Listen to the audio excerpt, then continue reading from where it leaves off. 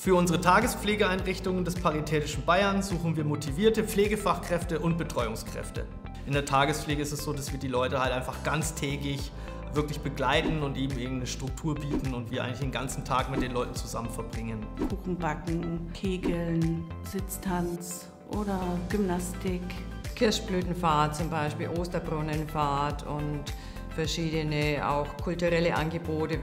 Wir betreuen Pflegefälle vom Pflegegrad 1 bis 5. Tova-Tafel. Da werden dann Sachen auf den Tisch projiziert und dann kann man da so spielen wie Memory oder bestimmte Sachen zuordnen oder so Ratespiele machen. Es gibt eine Altersvorsorge, eine zusätzliche, ein zusätzliches Bonusprogramm. Das Jobticket. Man muss bei der Arbeit sehr empathiefähig sein. Und das macht auch richtig Spaß. Wenn euch gefallen hat, was ihr gesehen habt, dann bewerbt euch bei uns. Wir würden uns sehr freuen.